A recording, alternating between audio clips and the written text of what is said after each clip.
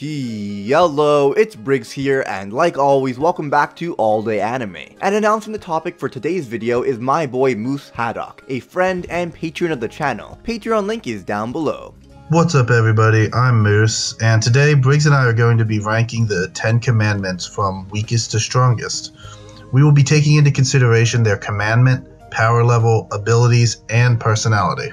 Thank you Moose for that awesome introduction and recommending I cover this video. Now before I begin, I need to mention that this is not a versus video. This is a ranking order based on overall strength and each individual's characteristics. As we know, commandments don't work on other commandments, so try not to picture them fighting each other, but rather if they both had to fight a strong opponent, who would put up the best fight. But anyway, let's jump into it at number 10. Fraudrin, who has a base power level of 31,000. He can use the ability Full Size, which gives him more power and attack range, but as a negative, it drops attack speed and turns him into a bigger target. Fraudrin is most likely the weakest of the 10 commandments as all the other commandments have a higher power level, excluding Galand without critical over. Now, the only thing that would make him a contender to be higher on this list is his ability, Soshin no Jutsu, a spell which allows Fraudrin to enter a person's body and use it as his own. While inhabiting a person's body, Fraudrin also gains access to their abilities. I think this ability has a lot of potential if he managed to steal someone like Merlin or Meliodas or Ban's body. However, mainly because he hasn't really tried to do so, I can't put him higher on the list. Like yes, Dreyfus is strong, but he doesn't exactly have the best abilities. Next up is Galen at number 9. Galen, Galand, I still don't know. And it may surprise you that I put him this low on the list, considering his physical prowess, despite not even having his full magic back. But it's that personality and that lust for battle that made him die so early in the anime. He recklessly rushed into a fight even though he was in a weakened state. Despite this, he still managed to overpower Meliodas, Diane, and Merlin, However, at the end of the day, he put himself at risk again by choosing to play the Galan game for fun and died at the hand of his own commandment. And mainly because of that recklessness, even though he is very strong physically, with a power level of 40,000 while using critical over, and a strong commandment that turns anyone who lies in his presence to stone, I'm going to have to put him at number 9 on the list. Next up on the list is Grayroad at number 8, who has a power level of 39,000, which is higher than Melascula, Fraudrin, and Galen. She can also summon gray and red demons at will, which is powerful when attacking helpless humans, but when against strong foes it's pretty worthless seeing as most commandments and sins can destroy that class of demon with no problem. Now that's what I would be saying if it wasn't for her commandment, pacifism, which causes anyone who kills in her presence to age rapidly and die. Because of this possible combo of summoning demons and then having them be killed which activates her commandment, and having a higher power level, I had to place her above Fraudrin and Galand. But there is logic as to why she is below the commandment at number 7, Melascula, who has a power level just below Grayroad at 34,000. The reason I have her higher is mainly because of her abilities. She can revive the dead by amplifying their regrets and affection, pretty much reviving rage-filled zombies with the same abilities they had when they were alive. Simply watching her bring back Elaine, we can see how powerful it is. If Ban wasn't immortal, he would be GG no re RIP right now. If used properly and on the right people, this ability is extremely powerful. On top of that, she can use Cocoon of Darkness, which is apparently so strong that not even a commandment can break it. And while you're in it, she takes your negative energy and gives it to her zombies. Yeah, let's call them zombies, and yeah, she gives them a power boost. Also, the Cocoon of Darkness works really well with her ability to steal souls, as seen when she stole both Escanor and Ban's soul. Now, both situations were rare cases, but that combo could likely even take out someone as strong as Meliodas. Well, I guess if he wasn't cursed. I wonder how that works. I'm going a little off topic. But yeah, Melascula, in my opinion, is stronger than Grayroad and everyone else previously mentioned. But again, on top of everything, her commandment is very powerful as well. She has the commandment of faith, meaning any who show faithlessness in her presence will have their eyes set ablaze. But anyway, next on the list is Drole at number 6. And honestly, this one is pretty simple. He has a power level of 54,000, which is significantly higher than anyone else I previously mentioned. The closest being Galen's critical over at 40,000, though technically Galen didn't restore himself to full strength yet, but regardless, like I mentioned before,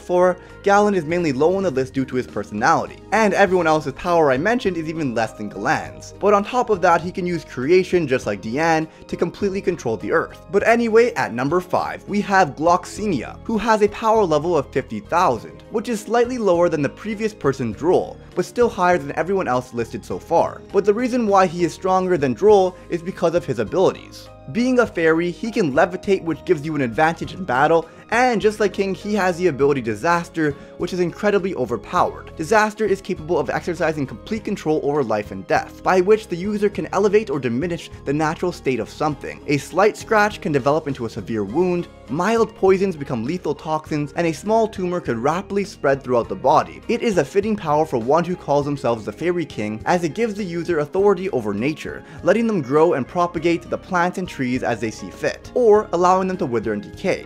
On top of that, she has her Spirit Spear Basquias, which is similar to King Spear, has many forms and abilities, and makes both of them a much more competent fighter. I'm not going to go into detail for his Spirit Spear because it would make this video much longer than it needs to be, but his Spear definitely increases his offensive and defensive abilities drastically. Next up at number 4 is Derieri, who has a power level of 52,000, which is 2,000 more than Gloxinia. Her ability Combo Star is extremely powerful as long as she continues attacking without interruption. Each consecutive blow receives an additional 200,000 pounds of force. If her chain of attacks are interrupted, then it resets, and she has to restart her count once more. Along with her extreme speed, Combo Star can do serious damage as seen when she did a significant amount of damage to Meliodas and overwhelmed him with her fighting ability. Compared to Gloxinia and others mentioned on the list, she seems one of the most competent in hand-to-hand -hand combat, and on top of that, if she's in a pinch, she can use Indura Transformation by sacrificing 6 of her 7 hearts. She can transform into the Beast of Destruction Indura, where she gains incredible power and strength, but in exchange loses her form and ability to reason. And just ahead of her in ranking is her partner in crime, Monspeet. And since Monspeet is my buddy Moose Haddock's favorite commandment, I'ma let him take it from here.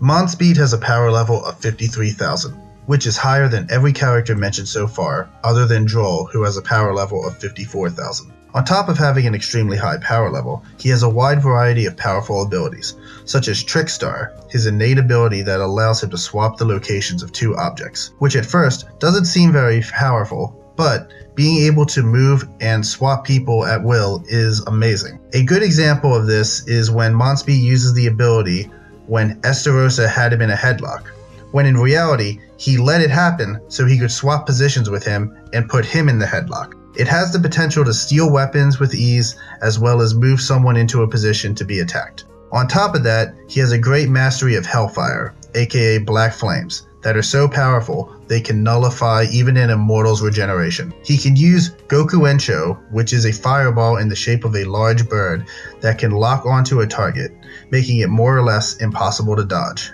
And finally, he can also use the Indura transformation, just like Derieri. Thank you, Briggs, for having me on your channel, and back to you with number two.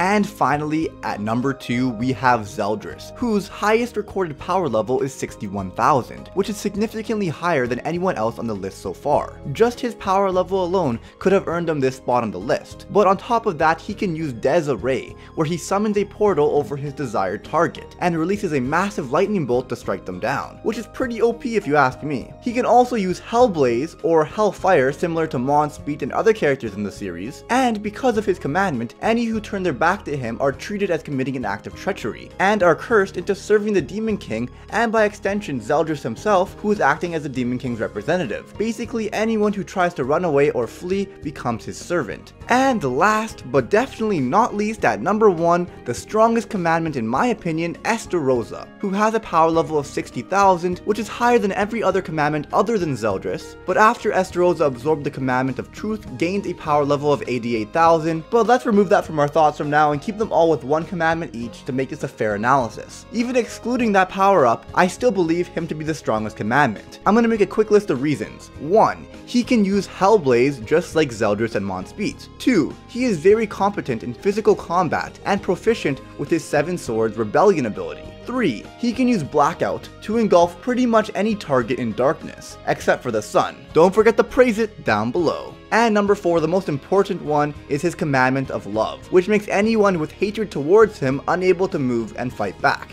And let's face it, if you are fighting someone, you most likely have some level of hatred towards them, especially someone like Estarossa, who is a pretty shitty person. Only a handful of people can fight back, like Escanor because he is so proud he bears no hatred, or Meliodas in Assault mode where he basically has no emotions. But yeah, because of those reasons, especially his power level and commandment, I think Estarossa is the strongest commandment. This is at the end of the day my opinion. Feel free to give me your ranking list down below. Remember to show the channel some love by smashing that like button, subscribing, and hitting that notification bell. Also, all my links are down below. I started doing Twitch and recently opened up a Discord server. I also want to give a huge thank you to Moose Haddock for joining me on this video and to Simply Grouch for editing it for me. You guys are the real MVPs, but yeah, just like that, I will see you guys all next time, dudes. Shinpaku.